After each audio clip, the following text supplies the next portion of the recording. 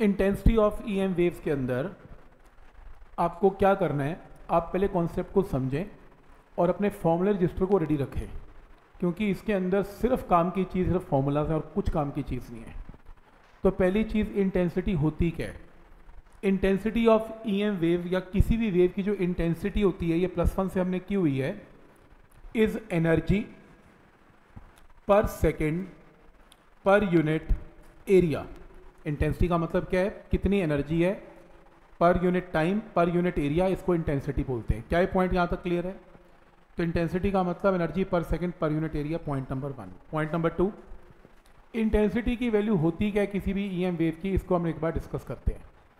तो intensity discuss करने के लिए पॉइंट नंबर वन की मान लो आपके पास एक ईएम वेव जा रही है, और ये ईएम वेव जो ईएम वेव है मान लो इस पोर्शन के अंदर ई एम वेव जा रही देखो ई एम वेव तो बहुत बड़ी एनर्जी है, हमने एक छोटा सा वॉल्यूम ले लिया, ठीक है? वॉल्यूम ले लिया। तो ये ई एम वेव जा रही है। मैंने मान लो इतने पोर्शन में ई एम वेव को ट्रैवल करता हुआ दिखाया कि आपकी E M wave speed of light से ट्रैवल कर रही है।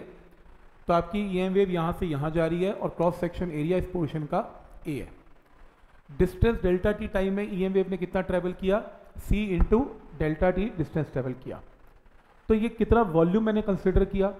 वॉल्यूम होगा लेंथ इंटू एरिया तो C into delta T into area इसका क्या आ गया? वॉल्यूम आ गया. क्या ये पॉइंट यहाँ तक क्लियर है? अब U stand for energy U बड़ा U का मतलब क्या होता है? एनर्जी तो एनर्जी इस पोर्शन में, जो मैंने ऊपर सिलेंड्रिकल पोर्शन दिखाया, उसके अंदर ई एम वेव की कितनी एनर्जी प्रेजेंट है, वो कैलकुलेट करने के लिए छोटा यू छोटा यू का मतलब है एनर्जी डेंसिटी एनर्जी डेंसिटी को वॉल्यूम से मल्टीप्लाई करते हैं. क्योंकि एनर्जी डेंसिटी क्या होती है? Energy upon volume energy by volume को वॉल्यूम से मल्टीप्लाई करके एनर्जी की वैल्यू आ गई. अब आप एक काम करें. इंटेंसिटी क्या होती है? Energy per second per unit area energy को बड़े यू से रिप्रेजेंट करेंगे. बड़े यू की वैल्यू पूरी की पूरी न्यूमिनेटर में पुट कर दें.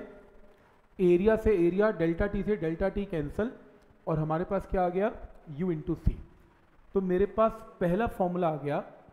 लिखो इंटेंसिटी का पहला फॉर्मूला इंटेंसिटी का पहला formula energy density into C speed of light speed of E M wave और यू स्टैंड फॉर लिख लेना। U stand for energy density energy density ये पहला फॉर्मूला इंटेंसिटी का फॉर्मूला छोटा यू इंटू सी इस पूरी असाइनमेंट में कोई थ्योरी काम की नहीं है, कोई डेरिवेशन काम की नहीं है। सिर्फ़ फॉर्मूलाज काम किए हैं। तो पहला फॉर्मूला नोट करें इंटेंसिटी का formula energy density into C ठीक? तो क्या ये पॉइंट यहाँ तक क्लियर है? नेक्स्ट है। अब एनर्जी डेंसिटी अगर आपको याद हो, हमने दो किस्म की एनर्जी डेंसिटीज पढ़ी हुई हैं। एक इलेक्ट्रोस्टैटिक में और एक मैग्नेटिक में। इलेक्ट्रोस्टैटिक में कैपेसिटर में की थी। इलेक्ट्रिक फ़ील्ड की फॉर्म में एनर्जी डेंसिटी का फॉर्मूला था half epsilon not E not square E not का मतलब maximum value of electric field letter suppose तो ये आपके पास क्या आ गई? इंटेंसिटी की वैल्यू आ गई। अब प्रॉब्लम ये है कि हमारा जो इलेक्ट्रिक फ़ील्ड है, वो साइनोसाइडली ईएम वेव में अपनी वैल्यू को चेंज करता है। साइन वेव की तरह चेंज करता है। साइन वेव में maximum value of electric field क्या है? ई नॉट है। तो उसकी कोई एवरेज वैल्यू भी होगी। हम इंस्टेंटेनियस वैल्यू के साथ तो काम कर नहीं पाएँगे।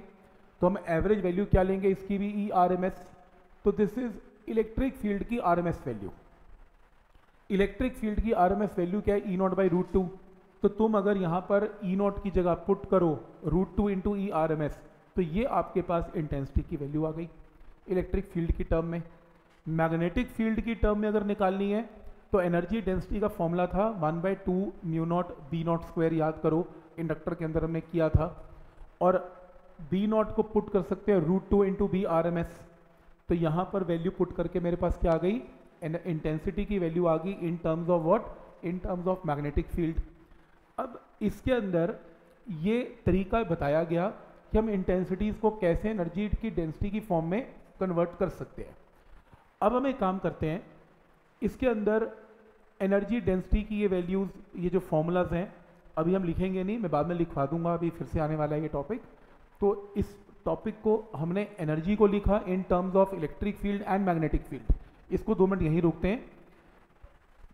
इस टॉपिक को आगे कंटिन्यू करते हैं। थोड़ा सा आगे लिखा हुआ है इसमें। ये देखो, हमने एनर्जी डेंसिटी को कैसे सॉल्व किया?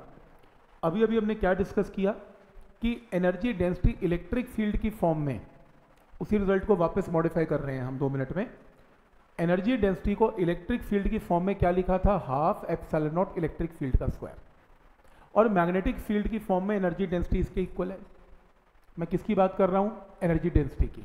अभी मैंने पीछे क्या निकाली थी? Intensity. Energy density electric field की फॉर्म में ये रही, मैग्नेटिक की फॉर्म में ये रही। टोटल ईएम वेव की एनर्जी डेंसिटी क्या होगी? टोटल ईएम वेव की एनर्जी डेंसिटी में दोनों फ़ील्ड प्रेजेंट हैं। तो दोनों को ऐड कर देते हैं। तो ये मेरे पास क्या आ गई? Total energy density of E M wave अब एक प्रॉब्लम है।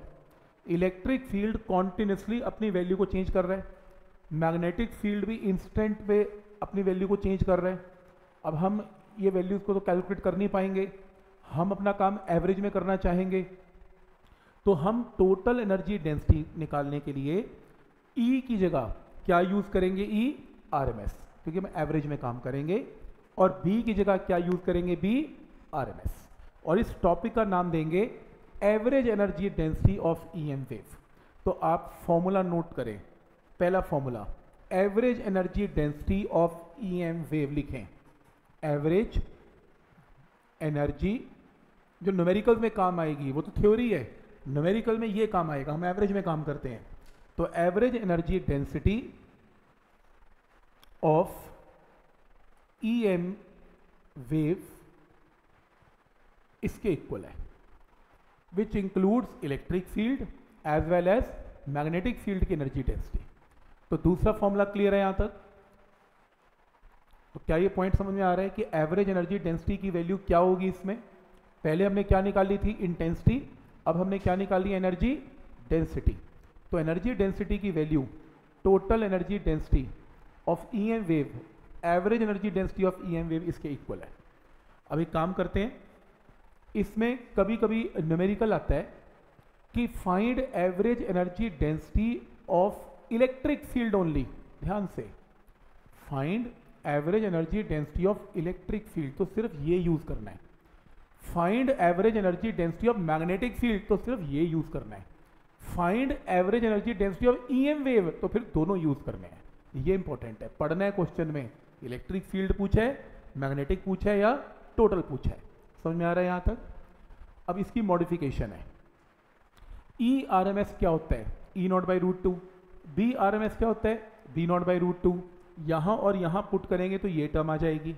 ये हमने एक रिज़ल्ट किया था। क्या रिज़ल्ट किया था? हमने एक रिज़ल्ट किया था कि एक ईएम e वेव के अंदर एनसीईआरटी में किया था। आधी एनर्जी इलेक्ट्रिक होती है और आधी मैग्नेटिक होती है। ये प्रूफ किया था। तो बेसिकली इस रिज़ल्ट और इस रिज़ल्ट में ये एनर्जी डेंसिटीज आई हैं। इलेक्ट्रिक फ़ील्ड और मैग्नेटिक फ़ील्ड की फॉर्म में मतलब इस रिज़ल्ट में और इस रिज़ल्ट में कोई अंतर नहीं। इस रिज़ल्ट और इस रिज़ल्ट में कोई अंतर नहीं। क्या ये पॉइंट क्लियर है?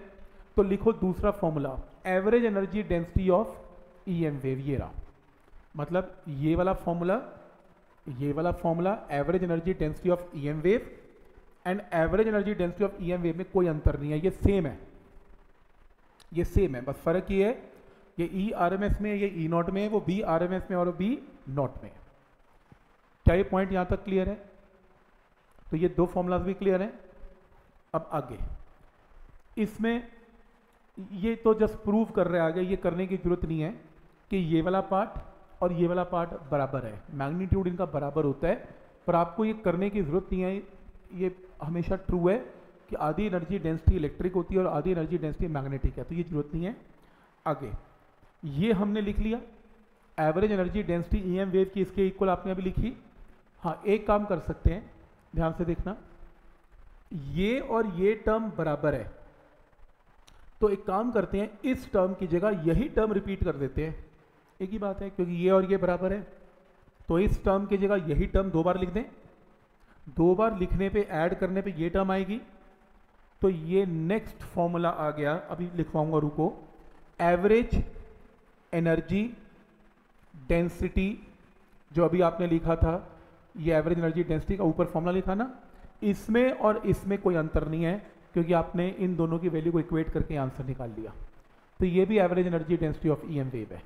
और अगर आप चाहो तो ई नॉट को लिख सकते हो root two into E R M S ये भी एक ही बात है। तो ये भी एक ही बात है। मतलब कहने का मतलब इसमें ये रिज़ल्ट या ये रिज़ल्ट या ये रिज़ल्ट या फिर ये रिज़ल्ट या फिर ये रिज़ल्ट, ये सब एवरेज एनर्जी डेंसिटी है। इवन यही नहीं, अगर आप फिर से एवरेज एनर्जी डेंसिटी को लिखें और क्योंकि ये दोनों वैल्यूज़ बराबर हैं तो अब इसकी जगह मैग्नेटिक फ़ील्ड को रिपीट कर दें। तो ये एक नया फॉर्मूला आ गया एवरेज एनर्जी डेंसिटी का और बी नॉट को root two R M S put करके आंसर आ गया। बहुत सारे फॉर्मूले तैयार हो गए। तो पहला फॉर्मूला एवरेज एनर्जी डेंसिटी का पहला फॉर्मूला लिख लिया। ये क्या निकली? Average energy density of E M wave. पहला फॉर्मूला क्लियर। इसको मॉडिफाई करके दूसरा formula clear. Average energy density of E M wave का दूसरा फॉर्मूला क्लियर। तीसरा formula. Average energy density of E M wave का तीसरा फॉर्मूला।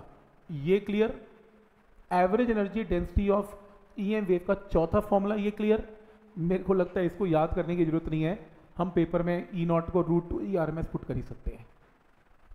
ठीक?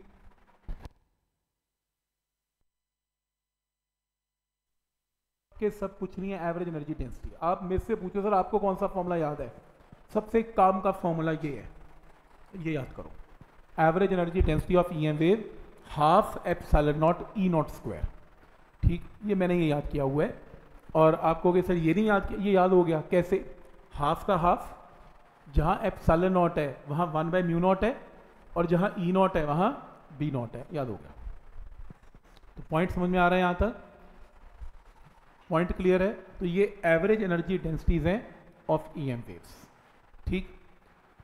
अब नेक्स्ट जो है इंटेंसिटी इंटेंसिटी के अंदर intensity of E M wave के अंदर, इसको ध्यान से देखना प्लीज़ इंटेंसिटी का फॉर्मूला मैंने आपको थोड़ी देर पहले लिखवाया, छोटा यू इंटू सी पहला फॉर्मूला यही था। ये कुछ करने की ज़रूरत नहीं है। हमने ऑलरेडी कर लिया। इंटेंसिटी का फॉर्मूला छोटा यू इंटू सी छोटा यू का मतलब एनर्जी डेंसिटी अब मुझे बताओ कि एवरेज एनर्जी डेंसिटी होती क्या ई एम वेव की? ये होती है। अभी मैंने कहा ना फॉर्मूला मैंने याद किया हुआ है half epsilon not E not का square average energy density of E M wave यही फॉर्मूला किया हुआ है। इसको सी से मल्टीप्लाई करके क्या आ गई? इंटेंसिटी लिख लो फॉर्मूला ये फॉर्मूला लिख लो ई e नॉट को तो ई आर एम एस में कन्वर्ट कर ही लेंगे। तो इंटेंसिटी का ये फॉर्मूला नोट कर लो। ये इंपॉर्टेंट फॉर्मूला है इंटेंसिटी का, ये रहा। और उसी तरीके से एवरेज एनर्जी डेंसिटी या intensity of E M wave का ये फॉर्मूला भी नोट कर सकते हो। दोनों फॉर्मूला इंटेंसिटी के फॉर्मूले हैं। वैसे मज़ेदार बात ये है, आपको कुल मिला के फॉर्मूला एक ही याद करना है पूरे टॉपिक में। अगर आप मेरे से पूछो सर, आपको क्या याद है? तो मेरे को एक ही फॉर्मूला याद है। कौन सा? ये वाला। Average energy density electric field की फॉर्म में याद करे बैठा हूँ। सी से मल्टीप्लाई करूँगा इंटेंसिटी आ गई। और इसको, इसमें बनाना तो मैंने आपको सिखाई दिया। सी से मल्टीप्लाई करूँगा इंटेंसिटी आ गई तो याद करने वाला फॉर्मूला तो सिर्फ़ एक ही है। और कोई फॉर्मूला है ही नहीं। तो समझ में आ रहा है यहाँ तक? बाकी तो बस ये फॉर्मेलिटी है कन्वर्जन है और कुछ भी नहीं है। क्लियर है यहाँ तक? कोई डाउट इसमें?